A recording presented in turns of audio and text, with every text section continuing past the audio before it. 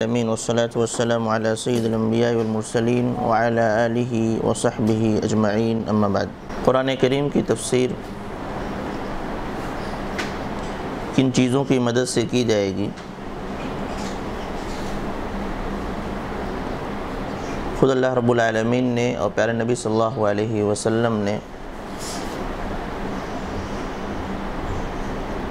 इसकी रहनुमाई फरमा दी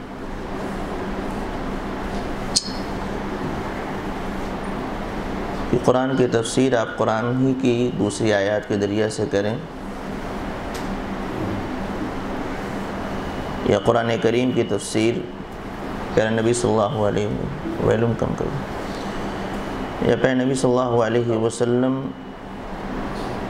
की हदीस मुबारक से करें। या फिर कुरान करीम की तफसीर सहाब कराम के अकवाल से करें।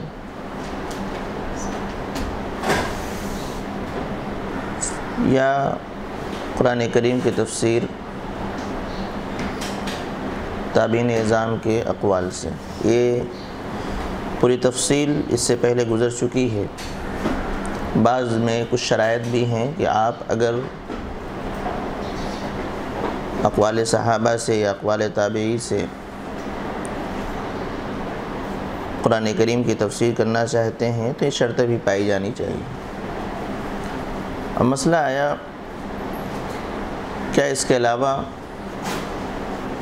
कोई और ज़रिया भी है कुरान करीम की तफसीर करने का? तो लोगों का जहन एक बार उन आसमानी किताबों या आसमानी मज़ाहिब की तरफ़ गया, जो मुनज़ल मिनल्ला थे। या हैं। मसलन, तौरात, इंजील। क्या इन किताबों की मदद से कुरान करीम की तफसीर की जा सकती है? एक मसला पेश आया। इन्हीं को इसराइलियात से ताबीर किया जाता है। इसराइली रवायात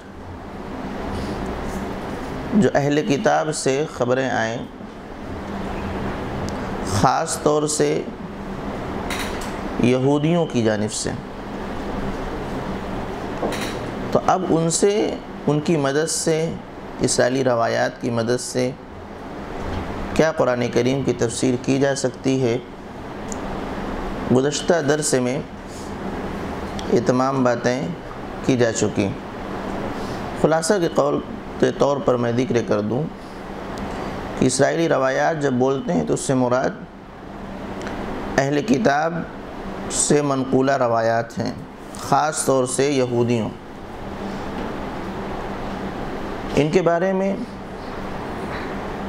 जो हुक्म है, वो तफसीली, यानी मुकम्मल तौर से आप रिजेक्ट नहीं कर सकते और मुकम्मल तौर से अपना भी नहीं सकते।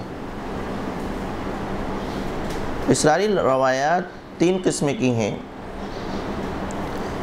एक किस्म ऐसी है कि जिसकी तइद ख़ुद दीन इस्लाम के अंदर, आखिरी शरीयत के अंदर मौजूद है।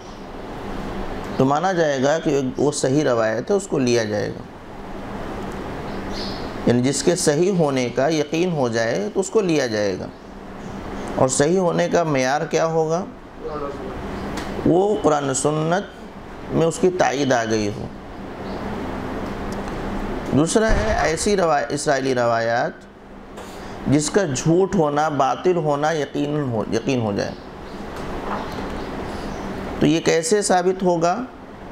उसका भी वही तरीक़ा कि जो ये रवायात है, इसके ख़िलाफ़ कुरान सुन्नत में आया है। जो कुरान सुन्नत में आया, वो सच है, ये गलत माना जाएगा। तो ऐसी रवायत को रद्द करना ज़रूरी तीसरी किस्म वो है कि जिसके बारे में कुरान सुन्नत खामोश है।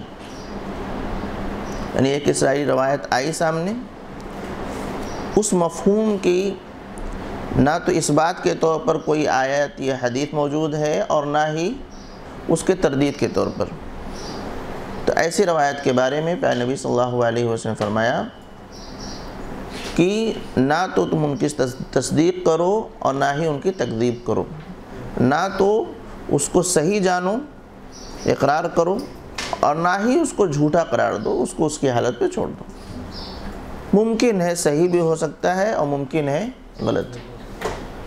सही होने का इम्कान इसलिए है कि वो भी आसमानी किताब है और झूठ होने का इम्कान इसलिए है क्योंकि उन लोगों ने मिलावट कर ली। तो ये हुआ इसराइली रवायात और उसका हुक्म। तो तफसीर करने जब हम बैठेंगे या हम पढ़ेंगे तो इन चीज़ों का हमें ख्याल रखना है कि इसराइल रवायात से मदद ली जाएगी कि नहीं ली जाएगी। तो इस तकसीम के बाद ही आप फैसला कर पाएँगे कि कौन सी किस्म है ये। चंद साहब रावी हैं जो इस मामले में इसराइली रवायात के सिलसिले मशहूर हुए। जैसे एक अब्दुल्ला बिन सलाम अल्लाह ताला साहब रसूल हैं। वो ख़ुद आलिम दीन थे। अपने मज़हब के यहूदियों के और फिर उसके बाद इस्लाम कबूल कर लिए। तो उनकी जानब से भी कसरत से इसराइली रवायात आई।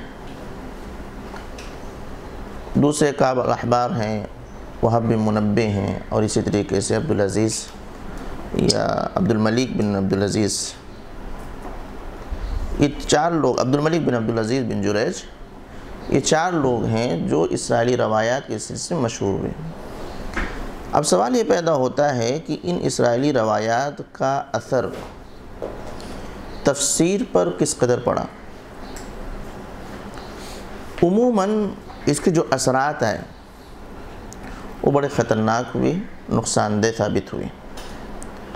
उन्हीं बातों को आज के दरसे में लिया जाएगा खतूरतलसराइलियत कि जो इसराइली रवायात हैं, उसकी वजह से क्या ख़तरा है, क्या नुकसान हैं उसका बयान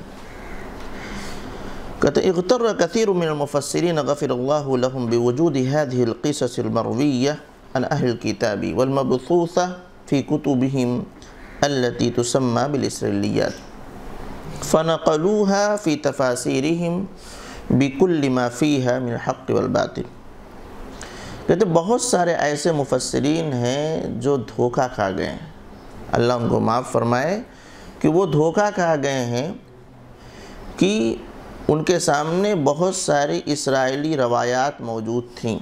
लोग बयान करते थे। एक के बाद दूसरा दूसरा के बाद तीसरा बयान करते थे। ऐसे ही बहुत सारी किताबों के अंदर मौजूद थी इसराइली रवायात। तो उन लोगों ने क्या किया कि वो इसराइली रवायात को मिन वान नकल कर दिया उनको लगा कि ठीक है, और उसको आगे बढ़ा दिया उन्होंने। अब इसके आगे बढ़ाने की वजह से उसमें वो तमाम बातें आ गई, जो सच थी और वो तमाम बातें भी आ गई जो मिलावट थी। अब इसकी तमीज़ नहीं हो पाई। आज भी तफसीर की किताबों में आप देखेंगे तो बहुत सारी इसराइली रवायात मिलती और बहुत सारे लोग उसके एतबार से भी तफसीर करने की कोशिश करते हैं। अच्छा कुछ ऐसी चीज़ें उसमें रहती हैं बज़ दफ़ा कि वो थोड़ा सा दिलचस्पी का सबब भी बन जाती हैं। मसलन गुज्त दरस में जैसे बात आई कि जैसे आसाए मूसा है तो मूसा सलाम की लाठी किस दरख्त की लकड़ी की थी? किस दरख्त की बनी हुई, की लकड़ी से बनी हुई थी? या ऐसे ही वो इसराइली वाक़ जिस शख्स का कत्ल कर दिया गया था, अल्लाह ने हुक्म दिया कि एक बकरा, एक गाय ज़बह करो।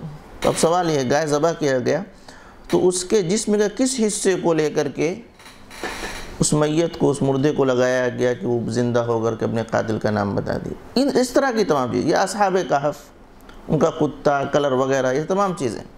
जिससे शरीयत में मतलब कोई ख़ास मकसद हासिल होने वाला नहीं। लेकिन इस तरह की चीज़ों लोगों को मिलती है तो बयान करने में मज़ा आता है। तो चूँकि किताबों में मौजूद थी, लोगों ने नकल करना शुरू कर दिया तो उसमें वो बातें भी आईं जो सही हैं, वो बातें भी आ गई, जो इन लोगों ने मिला दिया था। ये सच है कि मिलाया कुरान में इसकी वजाहत मौजूद हालाँकि अल्लाह रब्बुल ने हमें इन तमाम चीज़ों से बेनियाज कर रखा था, क्योंकि उससे सही चीज़ें हमारे पास मौजूद हैं। कुरान के अंदर, हदीस मुबारक के अंदर मौजूद है। अब हमें उसकी ज़रूरत ही नहीं थी। अगर वो हमारे सामने ना भी आए, हमारा कोई नुकसान नहीं होने वाला है। लेकिन चूँकि मौजूद थी, लोगों ने नकल करना शुरू कर दिया तो तमाम बात आ गई। कहते वयजिब अलैना शरअन तकदीबुहुम फ़ीमा उरिफ़ा फ़ीमा उरिफ़ा किदबुहु व तस्दीक़ुहुम फ़ीमा उरिफ़ा सिद्क़ुहु फ़िल क़ुरआन वल हदीस लदैना कहते अब हम पर वाजिब हो गया कि जो चीज़ें हमारे यहाँ कुरान से साबित हैं, उनमें से उसको हम साबित माने। और जो जिस चीज़ का बुतलान या किदब या झूठ होना साबित है, हमारे कुरान सुन्नत की रोशनी में तो उसका झूठ, उसके झूठ को साबित करना हम पर वाजिब हो गया कि अलग अलग करें तो कि क्या सही, क्या गलत वमा हद रईन बादलमफसरीन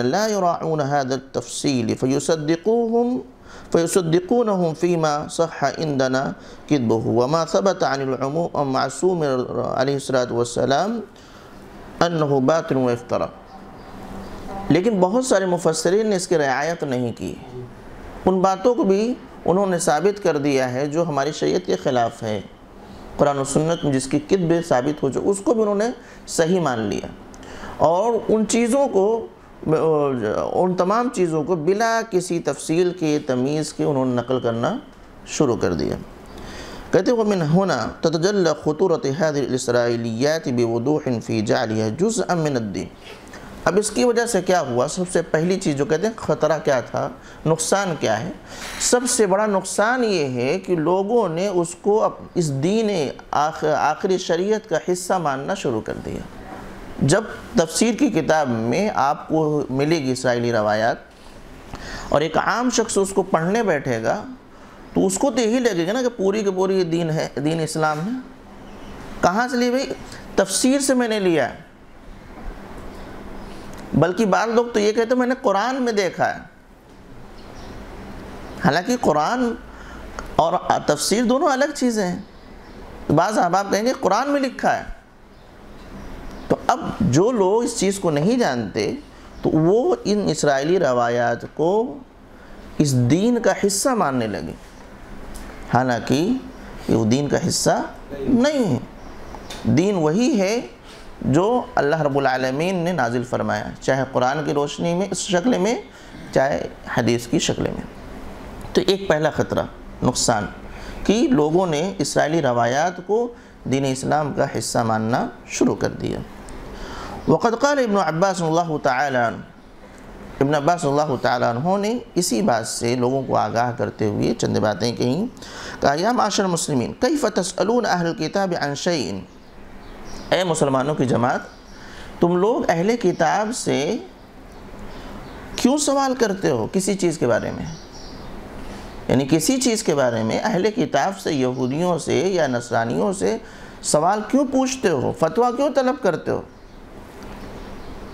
व किताब किताबकुमल्लदी अनजल्ला नबीकुम और हालाँकि तुम्हारी किताब, जिसको अल्लाह रब्बुल आलमीन ने तुम्हारे नबी सल्लल्लाहु अलैहि वसल्लम पर नाजिल फरमाया वो मौजूद है। यानी शरीयत दीन इस्लाम या शर, शरीयत आखिरी शरीयत की मौजूदगी के बावजूद आप उनसे सवाल क्यों करते हैं? और उन लोगों ने क्या किया है कि उस शरीयत के अंदर अपने दीन के अंदर तब्दीली कर दी है इजाफ़ा कर दिया है। उसके बावजूद तुम उनसे सवाल करते हो। वक़द हद तकमल्ला अल्लाह रब्बुल ने तुमसे बयान भी किया है, अन अहल किताब कद बदलू मिन किताबिल्ला वगैरू कि अहल किताब ने जो उनको अल्लाह की किताब दी गई थी, उसमें तब्दीली कर दिया है, बदलाव कर दिया है। फ़कतब भी अदीम और कुछ बातें अपने हाथों से उन्होंने लिखा, और लिखने के बाद कालो हुआ मैंने इंदिल्ला क्या कहना शुरू कर दिया? ये अल्लाह की जानब से। यानी उसको भी वही इलाही बना करके लोगों के सामने पेश किया। लेशतरू बेदाली का समन कलीला, ताकि उसको हकीर कीमत में बेच सकें, फतवा बेच सकें। अवला यनहाकुम क्या तुम्हार तुम्हें जो तुम्हारे पास दीन आ चुका है, ये तुमको उनसे सवाल करने से रोकता नहीं? जब तुम्हारे पास पहले से मौजूद है तो उनसे पूछने की ज़रूरत क्या है? अब ये आखिरी टुकड़ा देखिए, बड़ी बड़ी ज़बरदस्त बात की उन्होंने। फ़ला वल्ला मारा रजुल हम यस अलकुम अनिल्लदी उनजिला अलैकुम।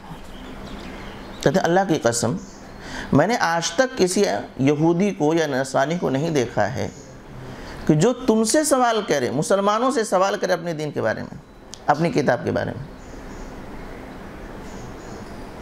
जबकि उनके दीन में काफ़ी तब्दीली आ गई बहुत कुछ उसमें नुकसान उनका हो गया। अगर उस दीन को, उस किताब को इस शरीयत से हल करना चाहें तो हल हो सकता है। कि जो बातें साबित थीं, शरीयत ने उसको साबित रखा भी है। लेकिन वो कभी हमसे सवाल करने नहीं आते। लेकिन हम उनसे सवाल करने जाते हैं। इस चीज़ को हमें लेके बैठना चाहिए। आखिर हमारी मजबूरी क्या है कि हम अहले किताब से अपने मसाइल हल कराएँ, अपने दीन की बातें, बातों को हल करने के लिए, उसकी वजाहत और तफसीर के लिए उनकी उनकी मदद लें। क्या उसकी ज़रूरत है? नहीं। वो तो कभी हमसे सवाल नहीं करते। ये चीज़ समझने की। बहुत, इसके अलावा दूसरे मसाइल में भी जब आप आएँगे तो आप देखेंगे कि एक मुसलमान गैर मुस्लिम से मुतासर हो करके उनके जैसे बनने की कोशिश करता है। लेकिन वो एक कदम बढ़ करके हमारी जानी आना नहीं चाहते। मुख्तलि मसाइल आते हैं कि हम उनके साथ रहते हैं, ये कर लें क्या, ये कर लें क्या, ये कर लें क्या, ये कर लें क्या, बहुत सारे मसाइल रहते हैं। क्या वो भी हमारे लिए ये करते हैं क्या? मैं एक बात कहता हूँ। हमारे यहाँ एक किराना वाला है। वो शायद जैन मज़हब से हैं, किससे पता नहीं। जिनके यहाँ मतलब कुछ खाया मीट वगैरह नहीं खाया जाता। है ना? जैन जैन है ना? हम्म, जैन। हमने उनको कभी भी दावत दी है। आइए हमारे पास ईद का मौका आया। त्यौहार था। पड़ोसी हैं। मैंने तो उन्होंने कहा कि जो है बहुत खुल के उन्होंने कहा कि देखिए आपका खाना खाने में हमें कोई एतराज़ नहीं। लेकिन हमारे धर्म में ऐसा है कि हम उस जगह नहीं खाते जहाँ इस तरह की चीज़ें होती हैं। क्या इतनी वजाहत के साथ कभी हम गैर मुस्लिम को जवाब दे पाते हैं? कि भाई ठीक है, आप कहिए आप कहिए आप कहिए। हम आपके साथ हैं, आपकी तकलीफ़ में, दुख में शरीक हैं। जहाँ हम, ज़रूरत पड़ेगी हम खड़े हैं। लेकिन इस मामले में हम आप, आपके साथ नहीं आ सकते। बहुत मुमकिन है, चंद लोग ऐसे हों, वरना ज़्यादातर लोग हाँ ठीक है ठीक है ठीक है। या ठीक है, नहीं खाएँगे, लेकिन छुपा उपा करके फेंक देंगे। इस तरह का मामला है। वही मैं कहना चाहता हूँ अब्दुल्ला अब्बास ने फरमाया कि फ़ला वल्लाहि मा रअयना रजुलन मिनहुम यसअलुकुम अल्लज़ी उनज़िला अलैकुम कि मैंने अल्लाह की कसम किसी भी यहूदी को, नसरानी को नहीं देखा कि जो अपने दीन के बारे में हमसे सवाल करता हूँ। हमारे बच्चे दिवाली के मौके पर पटाखे फोड़ लेंगे। क्या उनके मोहल्ले में हमारे त्यौहार के मौके पर उनके मोहल्ले में कोई ऐसी चीज़ होती हो जो हमारे हमारा शेयार है? नहीं। बहरहाल तो ये होता है कि जहनी तौर पर हमको तफवुक चाहिए। फ़िक्री तौर पर हमको बुलंद होना चाहिए। अपनी सोच भी वैसे रखनी चाहिए। यही पैगाम इससे मिलता है। तो अब्दुल्ला बिन अब्बास ने फरमाया कि ये ख़तरात हैं इससे बचना चाहिए। वरना लोग उसको दीन का हिस्सा मानने लगेंगे। तो ये ख़तरा। दूसरा चीज़ जो है, जो और बड़ा ख़तरा साबित हुआ, खतरात मिन नबी सल्लल्लाहु अलैहि वसल्लम, कि बहुत सारे लोगों ने इन इसराइली रवायात को मरफू रवायत बना दिया। यानी उसकी नस्बत प्यारे नबी सल्लल्लाहु अलैहि वसल्लम की जानब कर दी। बहुत सारे ऐसे मौजू और रवायत मिलेंगी, जो असलन ख़ुद किसी ने गढ़ा नहीं, गुदश्ता अदियान की थी अब वो इनको मिल गई और उसको उन्होंने सनत बना करके नबी करीम सल्लल्लाहु अलैहि वसल्लम तक पहुँचा दिया यानी मरफू रवायत मरफू रवायत हम छोड़ नहीं सकते। तो अब ये दूसरा नुकसान हुआ इन रवायत इसराइलियात वलासीमकदूब वलबातमिनहा लवक़फ़ बिहा इन क़ाइलिहा लकार अम्र महतमिलन। कि इसराइली रवायात कि जब बयान की जाए ख़ास तौर पर झूठी रवायात हैं तो बयान करने का के बाद असल तरीक़ा तो ये होना चाहिए कि वाज कर दें कि ये गलत है। चलिए मान लिए उसने बयान नहीं किया, खामोश रह गया तो कहते हैं कहा ना मुहतमिलन। इसमें चलो ठीक है, कम गुना, लेकिन मामला उससे ज़्यादा है वलाकिन शना व कबीर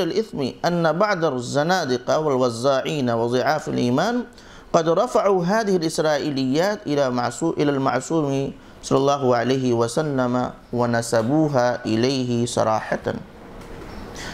कि बात ऐसे लोग जो जिंदी किस्म के हैं, बेदीन किस्म के हैं, या वज़ाइन जो हदीसें गढ़ने वाले हैं वज़ाफ़ल ईमान या कमज़ोर ईमान वाले हैं, उन्होंने सिर्फ़ इसको बयान करने पे इक्तफ़ा नहीं किया। बयान करने के बाद उसकी नस्बत प्यारे नबी सल्लल्लाहु अलैहि वसल्लम की जानिब कर दी। मरफू करार दे दी, एकदम सराहत के साथ। तो अब तो ये और ख़तरनाक मामला हो गया, यानी दिन में मिलावट हो गई। जो अलैहि वसल्लम ने फरमाया ही नहीं है, इस दीन का हिस्सा ही नहीं है, उसको ला करके नबी करीम सल्लल्लाहु अलैहि वसल्लम से जोड़ देना। ये कितनी ख़तरनाक बात है कि ये दीन में इजाफा का सबब बन जाता है इसराइली रवायत। अच्छा हदीस के नाम पर, रवायत के नाम पर लोग उसको दीन समझते हैं। अगर नस्बत नहीं भी किए हैं ये बोल दें कि एक रवायत है। तो अब आम लोग तो ये समझेंगे कि दीन है ये। और रवायत कैसी है, किसकी है, कहाँ तक पहुँचती है, उसकी हैसियत क्या है, वो अलग मसला है। लोगों का मामला तो ये है आज कि अरबी में अगर कुछ दिखा दीजिए तो दीन मान लेते हैं। चे जाए कि रवायत हो। आज कोई जुमला आप अरबी में बनाइए व्हाट्सएप पे फॉरवर्ड कर दीजिए।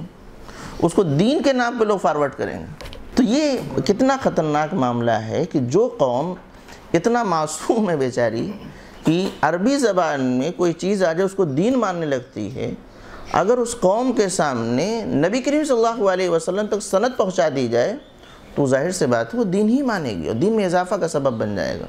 और आवाम तो छोड़िए बड़े बड़े जो पढ़े लिखे लोग हैं, उनसे यहाँ कोताही गफलत हो जाएगी। तो ये एक नुकसान। तो कहा वनसबू वह हुना यकून ज़रफ़ाहिश वलख़ियानतुलउदमाम ये इस्लाम में वाज तौर पर ख़यानत है, इजाफ़ा किया जा रहा है। फ़ैन नस्बतलगलत अबुलख़त वबिलकिद बिलरावी अयन कान अहवन बिकसीर में नस्बत नबी अलैहि वसल्लम कहते हैं किसी चीज़ की नस्बत किसी सहाबी तक है, वो भी गलत है। लेकिन अगर वो नस्बत क्या नबी सल्लल्लाहु अलैहि तक हो जाए तो वो और ख़तरनाक है। वो और ख़तरनाक हो जाता है। इसलिए, वला नशुक फ़ी तबरत साहत नबी सल्लल्लाहु अलैहि वसल्लम और हम, इसमें हमारे लिए कोई शक की बात नहीं है कि नबी करीम सल्लल्लाहु अलैहि वसल्लम इस तरह की बातों से बेनियाज हैं। उनके यहाँ ऐसी कोई गलती नहीं है। क्यों? इसलिए कि वो नबी सल्लल्लाहु अलैहि वसल्लम वही बात बोला करते थे जो अल्लाह की जानिब से वही आती थी। वमा यंतिक़ा इन हुआ वहीहा मैंने दो ख़तरात बताए आपके सामने। पहला ख़दशा क्या था? नुकसान क्या है? कि लोग उसको दीन मानने लगेंगे। दूसरा, कि बाज़ लोगों ने सिर्फ़ नकल नहीं किया। नकल करने के साथ साथ इन इसराइली रवायात को प्यार नबी सल्लल्लाहु अलैहि वसल्लम तक सनत के साथ जोड़ दिया है। जो मरफू रवायत बना दिया है। तो ये दीन में इजाफा का सबब बन गया। तीसरी चीज़, तीसरा नुकसान और ख़तरा ये है कि अगर कोई इसराइली रवायात, कोई सहाबी रसूल ज़िक्र करते हैं तो बाज़ लोग उसको मरफू हुक्मी के दर्जे में ले जाते हैं। मरफू हुक्मी का मफहूम समझते हैं। यानी है तो रवायत मौकूफ़ मौकूफ़ का मतलब जिस रवायत की सनत सहाबी तक पहुँचे, वो मौकूफ़ हो गई। और बाज़ हालात मौकूफ़ की ऐसी होती है कि सनत तो सहाबी तक पहुँचती, लेकिन कुछ हालात ऐसी कंडीशन ऐसी होती हैं कि माना जाता है कि ये इन्होंने नबी करीम सल्लल्लाहु अलैहि वसल्लम से सुना है। तो वो मरफू रवायत नहीं होती, लेकिन उसका, उस पर जो हुक्म लगता है तो दर्जा उसको मिलता है, वो मरफू यानी उसको मानना पड़ता है फिर। ये है मौकूफ़ मरफू हुक्मी। मौकूफ़ रवायत सहाबी तक, यानी सहाबी का कौल हो गया। लेकिन उसी मौकूफ़ रवायात में बास में कुछ ऐसी चीज़ें आ जाती हैं कि उसको मानना पड़ता है कि ये सहाबी तक सनत तो ज़रूर पहुँच रही है, लेकिन ये बात ऐसी है कि ये सहाबी अपनी राय से नहीं कह सकते। उसमें एक शर्त है, जिसमें राय की गुंजाइश ना हो। यानी ऐसी बात सहाबी ने की, जिसमें राय की गुंजाइश ना हो। मतलब आखरत के मुतालिक कोई बात कह दी है। तो सहाबी अपने जहन से, अपने क़यास से, अपने इश्तहाद से, आखरत और गैब से मुतालिक बात नहीं कर सकते। तो इस तरह की चीज़ें जब आती हैं तो कहा जाता है कि मरफू हुक्मी है। तो ये दूसरा ख़तरा ये है जा बाज़रवायातलसराइलिया बिलकसीर मिनहा मौकूफ़न सहाबा व मनसूबन इलेहिम। कि बहुत सारी इसराइल रवायात ऐसी हैं जो किसी सहाबी तक सनद उसकी पहुँचती है। ये फ़लान सहाबी ने ये बात फरमाई है। उन सहाबी ने कहाँ से लिया था? आगे उसका तस्करा नहीं। फ़ैदुलमल्लामहक़ीक़तलम बस जो शख्स मामले की हकीकत को नहीं जानता, उसने गुमान कर लिया। या वो शख्स जो जिसको इल्म हदीस का इल्म नहीं है, उसने गुमान कर लिया कि इसने इस चीज़ को मुमकिन है नबी करीम सल्लल्लाहु अलैहि वसल्लम से सुना लिअन्ना मिनलूमूर लती ला मजाल फ़ीहा। क्योंकि ये ऐसी बातें बयान कर रहे हैं जिसमें अपने अक़ल से, अपने जहन से, अपने इश्तहाद और क़यास से कह नहीं सकते। इस तरह की बात है। लिहाजा फ़लाह हुक्मरफ़ू नबी सल्लल्लाहु अलैहि वसल्लम। तो इस पर मरफू हुक्मी का दर्जा इसको मिलेगा, यानी इस हदीस पर जो मौकूफ़ है, इस पर मरफू का हुक्म लग जाएगा। हालाँकि दोनों में बहुत फ़र्क है। मरफू हुक्मी वो है कि ऐसी बातें हैं जो नबी करीम सल्लल्लाहु अलैहि वसल्लम ने फरमाई हो या शरीयत के मिजाज के मुताबिक हो गर्चे सनत नबी करीम सल्लल्लाहु अलैहि वसल्लम तक नहीं है। यहाँ ये मामला है कि ये शरीयत का हिस्सा ही नहीं थी। लेकिन चूँकि बात ऐसी है जिसमें अकल की गुंजाइश नहीं। मिसाल मिसाल के तौर तो मैं कहूँ जैसे बात आई मूसा वसलाम के लाठी का मामला ले लीजिए कि वो आ, किस दरख्त की लकड़ी का बना हुआ था। क्या कोई शख्स इश्तहाद करके बता सकता है? क्योंकि लाठी भी सामने मौजूद नहीं ना। उसके आसार भी कहीं नहीं है कि चलो कुछ तहकीक करके पहुँचा जा सके। अब बाज़ सहाबी अगर कह रहे हैं, इसराइली रवायात उनके पास थे उस रोशनी में अगर कह दिए हैं तो बाज़ लोग जिनके पास इल्म हदीस का इल्म नहीं है तो वो मुमकिन है ये सोचें कि शायद इन्होंने नबी करीम सल्लल्लाहु अलैहि वसल्लम से इसको सुना हो। सनत तो सहाबी तक पहुँच रही है, लेकिन मुमकिन है चूँकि बात ऐसी है जिसमें राय की गुंजाइश नहीं है, अपने इश्तहाद से कह नहीं सकते तो मुमकिन ये है कि इन्होंने शायद नबी करीम लिहाजा ये मरफू हुक्मी है। और जब मरफू हुक्मी का दर्जा मिल जाएगा तो उसको मानना ज़रूरी हो जाता है। उसको मानना ज़रूरी हो जाता है। तो ये तीसरा ख़तरा है, या नुकसान कह लीजिए कि मौकूफ़ वो रवायत, जो इसराइली रवायत है, सहाबी तक सनत पहुँचती है तो जिनके पास इल्म हदीस के ताल्लुक़ से इल्म नहीं है तो वो उसको मरफू हुक्मी का दर्जा दे देते हैं वजह ये बयान करते हैं कि चूँकि बात ऐसी की गई है जिसमें राय की गुंजाइश नहीं मेरी बात समझ रहे हैं? हम्म। ये तीन अहम चीज़ें इन्होंने ज़िक्र की हैं तफसील के साथ कि अव्वलन लोग उस चीज़ को दीन का हिस्सा मानने लगते हैं जो दीन है ही नहीं। दूसरी बात उससे ख़तरनाक कि बाद लोगों ने इसराइली रवायात की नस्बत प्या नबी सल्लल्लाहु अलैहि वसल्लम तक कर दी। मरफू करार दे दिया तो ये इजाफ़ा हो गया दीन के अंदर। और तीसरी कि सनत तो सहाबी तक पहुँची है। अब उसको मरफू हुक्मी का दर्जा दे दिए हैं कि बात ऐसी थी कि उसके अंदर अक़ल की गुंजाइश नहीं। अब उसके बाद इन्होंने खुलासे के तौर पर चंद चीज़ें, चंद पॉइंट ज़िक्र किए अब इसका नुकसान क्या हुआ? तीन नुकसान तो आपके सामने आए। इन बातों से, यानी दीन का हिस्सा मान लेने से या इसी तरीके से मरफू करार दे देने से या मरफू हुक्मी का दर्जा दे देने से ख़तरात नुकसान क्या हैं? उसको और वाजे किया इन्होंने। कहते लाशक का अन असर सही अनलाम व अकायदमसलिमिन कहते हैं, इसमें कोई शक नहीं है कि इसराइली रवायात के बुरे असरात इस्लाम पर और मुसलमानों के अक़ीदे पर बहुत ज़्यादा पड़े। उसमें से चंद चीज़ें अनहा फ़तहत लिआदाबशरीन नसारा वमस्तशरीन मुनफिदन यनफिदून मिन तानी फ़िलस्लाम वफ़ी रसोल सल्ला वसम इन इसराइली रवायात ने उनके लिए रास्ता खोल दिया है जो इस्लाम और प्यारे नबी सल्लल्लाहु अलैहि वसल्लम की शख्सियत में ऐबजोई करना चाहते हैं, तान करना चाहते हैं। ख़ास तौर से नसारा और मुस्तशरकिन मुस्तशरकिन। इन लोगों ने उन्हीं रवायात की मदद लेकर के कि भाई तुम्हारी किताबों में चीज़ें मौजूद हैं। उसकी मदद से इस्लाम को बदनाम और प्यार नबी सल्लल्लाहु अलैहि वसल्लम को बदनाम करने की कोशिश की। अब ज़ाहिर सी बात है, अगर हमारी किताब में है, वो किस हैसियत से वो बहत उससे नहीं है? सीधा है कि आपकी किताब से मैं बोल रहा हूँ। आपकी किताब से बोल रहा हूँ। मोतबर किताब से बोल रहा हूँ। यहाँ तो मामला ऐसा भी होता है कि किताब में दर्ज है और उसके नीचे हुक्म भी लगा दिया है कि मौजू रवायत है। उसके बावजूद लोग उस किताब का हवाला दे करके आपको बदनाम करेंगे। कि आपकी किताब में ये है? वो बाद में लोग जाके देखेंगे मौजू है कि नहीं है। आगे क्या लिखा है? कभी कभी तो ये होता है कि एक जुमला आगे का काट करके, पीछे का काट के, बीच का ले लेते हैं। और उसके ज़रिए से आप पर हुज्जत कायम करते हैं यहाँ मामला है हमारी किताबों में दर्ज है तो इन इसराइली रवायात के ज़रिए से वो मुसलमान इस्लाम और नबी करीम सल्लल्लाहु अलैहि वसल्लम में ता, तान करते हैं ऐबजोई करते हैं तो इसको जिक्र करने का एक नुकसान ये दूसरा नुकसान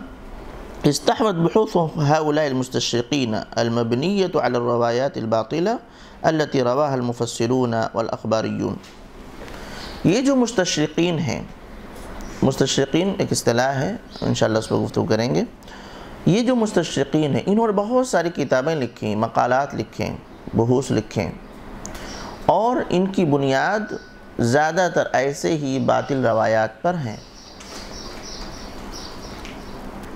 जिनको किन्हों ने रवायत किया है मुफसरों ने रवायत किया है और तारीख़ मर्रखीन ने रवायत किया है, जो तारीख़ नकल करते मर्रखीन ने रवायत किया अब उनको मौका मिला कि हमारी किताब में अगर हम ज़िक्र ना करते तो शायद वो महफूज भी ना रहती, उस पर लोग अतमाद भी ना करते। हमने उसको अपनी किताबों में दर्ज कर लिया, वो प्रिंट होकर के आ गई, वो जब तक किताब है तब तक वो महफूज है। तहकीक होती रहेगी, लोग तहकीक करते रहेंगे। लेकिन उनको एक पॉइंट मिला ना वहाँ से कि इस एतबार से हम गुफ्तु कर सकते हैं।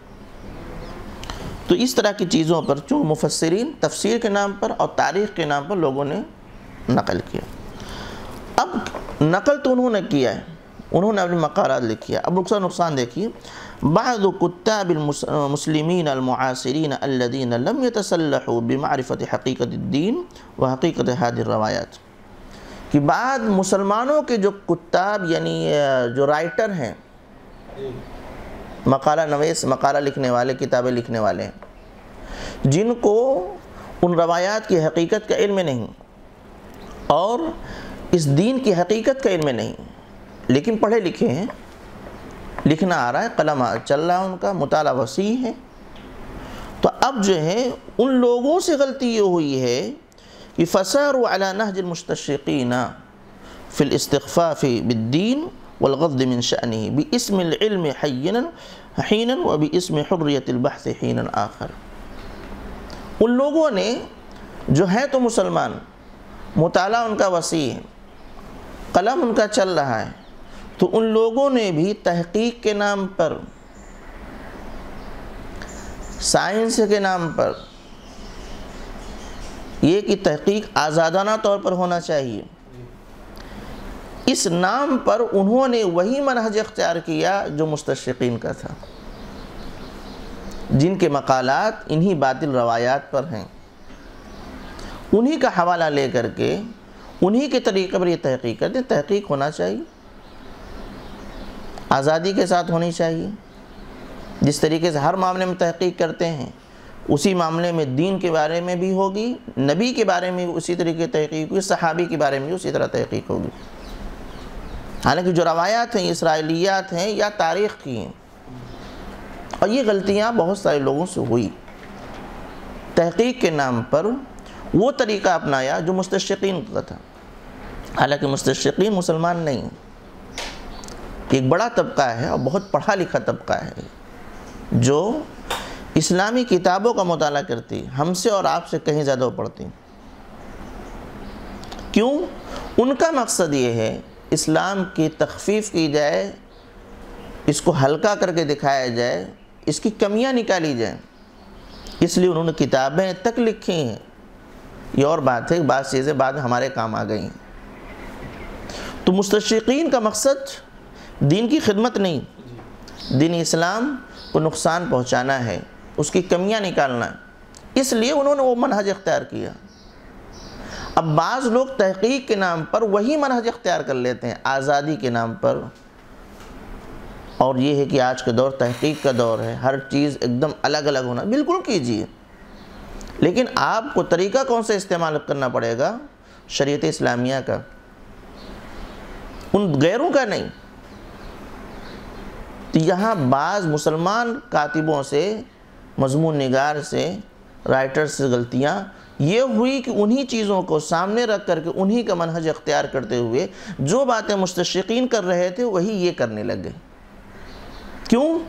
क्योंकि वो तमाम चीज़ें उनके यहाँ मौजूद हैं और उनको कुछ नया लगा। आज लोग नया ढूंढते हैं। कुछ नया लगा और उसके बुनियाद पर लोगों के सामने पेश किया। और नई बात सही हो या गलत लोगों के सामने आप पेश करें, लोग बड़ी दिलचस्पी से सुनते हैं, बड़ा मज़ा आता है। आज कुछ नया। और कमाल ये है कि अगर गलत बात है और वो नहीं पेश की जाएगी तो लोग फ़ौर कबूल कर लेते हैं। और एक सही हदीस लोग भूले हुए हैं नई है लोगों के लिए, पेश कर दीजिए। अरे, नया नया कहाँ से आ गया? ये सच्चाई है। बिदात के ख़िलाफ़ सही हदीस एक पेश कर दीजिए। अरे यहाँ कहाँ से लेकर के आ गए? ये लोग नया नया लेकर के आ जाते हैं। और उसी बिदात में रोज़ हर साल नया एडिशन आता है उसका। हाँ वो मज़ा भी आता है, लेकिन उसको नहीं नया नया कहाँ से आ रहा है? भाई, एक बात, एक बिदात ईजाद कर दिया आपने। चलो, हमने मान लिया। दूसरे साल और आ रहा है, तीसरे साल बढ़ता चला जा रहा है। उसको कोई नए नाम पर जो है, उनको उलझन नहीं होती। उसको फ़ौरन एक्सेप्ट कर लेते हैं। हदीस रसूल आप पेश कर दीजिए जो उनके लिए नई हो। हालाँकि नहीं हदीस रसूल नहीं नहीं, बहुत पुरानी है। उनके इल्म के एतबार से नया है। तो उसको कबूल करते वक्त उनको परेशानी होने लगती। तो नई चीज़ें दिलचस्पी का सबब हुआ करते हैं। तो इस तरह की चीज़ें जब पेश करेंगे, तहकीक के नाम पर, कहते हैं, नई तहकीक आई। तो यही गलतियाँ हो जाती हैं कि वो दूसरे के मनहज को इख्तियार करके मुसलमान कुत्ता, मुसलमान राइटर्स ये गलतियाँ कर रहे हैं। उनके मनहज के अतबार से तहकीक के नाम पर वही बातें करने लगते हैं जो मुस्तशिकीन करते हैं। और मुस्तशिकीन का मनहज जो था, तरीक़ा जो था, उनके जो है बहूस मकालत या जो है थेसिस का जो बेस है, वो यही इसराइली रवायात और जो है खुराफात है। नंबर तीन एतक़ाद यालम हकीकतम हकीकतमर वमन लईस मिन बिलहदीस अनहा मुतलक़ात नबी सल्लल्लाहु अलैहि वसल्लम व इल्लम तकुन मरफ़ूअत सराहा वही बात जो गुजशत गुजरी कि बाद ऐसे लोग जिनको दीन की हकीकत का इल्म नहीं है, जिनके पास हदीस का इल्म नहीं है, वो इन्हीं सारी रवायात को मरफू रवायत समझने लगते हैं, यानी नबी करीम सल्लल्लाहु अलैहि वसल्लम की जानब से आई हुई बात समझने लगते हैं और ये दीन में इजाफ़ा है। नंबर चार तकबल जमहूर नास वमतमसराइलियात अला अन्नहा सही ला गुबार अलैहा व अदाऊहा बैन अन्नास मा अन्न बादहा मदसूस इस्लाम मुशवला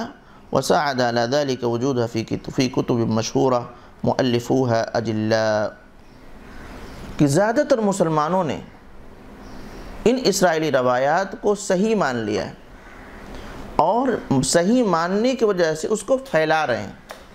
एक दूसरे को फॉरवर्ड कर रहे हैं। चाहे वो तहरीर की शक्ल में, चाहे ज़बान के ज़रिया से, उसको आगे फैला रहे उसकी बुनियाद क्या है कि किताब में, जो मैंने शुरू में बात की, किताब के अंदर है, तफसीर में है। और बाद लोग क्या मैंने जैसा कहा कि कुरान में है।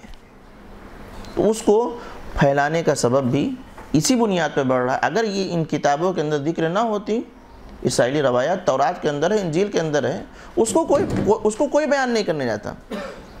लेकिन हमारी किताब में वो बातें आ गई तो उसको लोग बयान कर रहे हैं। तो इस बुनियाद पर ये नुकसान है कि हम ही उन गलत बातों को फैलाने का सबब भी बन रहे हैं ज़रिया बन रहे हैं। वजह कि इन किताबों के अंदर दिख रहे और जो किताबें हैं जिनको लिखा है तो कोई मामूली लोगों ने नहीं लिखा है। हमारे असलाफ ने लिखा है अम्मा ने लिखा है लेकिन उस वक्त उनके जहन में वो बात नहीं थी कि इसका नुकसान क्या होने वाला है। और उसको उन्होंने ज़िक्र कर दिया। तो बहरहाल तो जब बड़े, बड़ी शख्सियात की किताबों में मौजूद होंगी तो उसका एक तो आम शख्स लिख दे तो उसकी वो हैसियत नहीं होती। लेकिन कोई मोतबर काबिल एतबार शख्सियत लिखे तो उसकी हैसियत हो जाती है। तो उस एतबार से भी लोगों ने ये समझा कि उनकी उनकी किताबों में है, और उसको फैलाना शुरू कर दिया। नंबर पाँच, जो आखिरी है, वजूद इसराइलिया जसुद्दूल फ़िलस्लाम लिमन अराद फ़ी व तहमल अलाम नदरत शक वलरतबाब बल व तुनफ़िर अबनामिन लिअन अक्सर मा तहवी इसराइलियात युखालिफ़ुलक़ल वलफ़ितरा कहते हैं, इन इसराइलियात की वजह से लोगों को इस्लाम के अंदर दाखिल होने में रुकावट पेश आ रही। बल्कि वो इस्लाम को शक की निगाह से देखने लगते हैं। खुद भी नफ़रत करने लगते हैं और अपने बच्चों को भी समझा के चले जाते हैं। क्यों ऐसा है? इस वजह से कि इन इसराइलियात के अंदर ऐसी बातें हैं जो दीन के ख़िलाफ़ तो है ही अक़ल के ख़िलाफ़ है, फितरत के ख़िलाफ़ है। यकीन जानिए उन चीज़ों को अगर आप पढ़ें कभी कभी तो अम्बिया कराम की इसमत महफूज नहीं रहती। अम्बिया कराम के बारे में जो इसराइली रवायात हैं, यानी चोर डाकू तमाम चीज़ें कह दी गई जो हम सोच भी नहीं सकते। तो अब किसी के बारे में अगर आप इस तरह की चीज़ें सुने तो हमें लगे जब दीन में इस तरह की चीज़ें हैं तो वो उससे नफ़रत पैदा हो जाएगी। तो इसकी वजह से लोगों को इस्लाम में दाखिल होने के लिए एक तरह से रुकावट का सबब बन रहा है और ख़ुद भी इस्लाम से नफ़रत करने लगते हैं, इस्लाम के बारे में शक करने लगते हैं और अपने बच्चों को भी नसीहत करके जाते हैं कि गलत है, उसकी तरफ़ कदम नहीं बढ़ाना। तो ये चंद खतरात थे नुकसान थे जो आपके सामने पेश किए गए। अवला कि इसकी वजह से मुस्तशिकीन या दुश्मन इस्लाम को मौका मिला कि नबी करीम सल्लल्लाहु अलैहि वसल्लम और दिन इस्लाम के सिलसिले में वाइब जोई करें तान करें नंबर दो जो मुस्तशिकीन के जो मकालत हैं इसलिए इसराइली रवायात और बातिल रवायात पर मबनी हैं उनसे धोखा खा करके बाज़ मुसलमान राइटर्स उन्हीं मनहज को इख्तियार करते हुए उनकी बातें इस्लाम के बारे में ख़ुद करने लगे तहकीक के नाम पर और साइंस और टेक्नोलॉजी के नाम पर वगैरह। और तीसरा ये कि लोगों ने, आम लोगों ने उसको नबी करीम सल्लल्लाहु अलैहि वसल्लम की मरफू रवायत समझ बैठे, जैसा कि ऊपर उसकी तफसीर दिखी गई गई। चौथी चीज़, लोगों ने उसको दीन का हिस्सा मान लिया और मानने के साथ साथ बतौर दीन दूसरों तक फैलाना भी शुरू कर दिया। और पांचवी चीज़ है कि इसकी वजह से दूसरे गैर मुस्लिमीन इस्लाम से नफ़रत करने लगे, क्योंकि ये इसराइली रवायात अक़ल के भी ख़िलाफ़ है, फितरत के भी ख़िलाफ़ है, दीन के ख़िलाफ़ तो है ही। तो ये ख़ुलासा रहा तफसीर इसराइली रवायात के सिलसिले में, तफसीर के बाब में, और यह आपको कसरत से तफसीर की किताबों में मिलेगी। तो जब इस तरह की चीज़ें आएँ तो हमको किस एतबार से उनसे मदद लेनी है, उन पर अतमाद करना है या नहीं करना है, ये इस सबक के अंदर अख्तसार के साथ ज़िक्र किया गया है कि किस हैसियत की वसाली रवायात है, उसके एतबार से आप हुक्म लगाएँगे और उससे मदद लेने का तरीक़ा क्या होगा, ये तमाम चीज़ें इन मुझे उम्मीद है कि आपको समझ में आ गई होगी। इलामीन हमें हक बात समझने समझाने की तोफ़ी अदा फरमा और कुरान करीम की सही तफसीर, सही माना मफहम समझने की तोफ़ी दे, दूसरे तक पहुँचाने वाला बना। आमीन, तकबल रबालमीन वसल खैर खल्क़ महमद वाल वसाब अजमाइन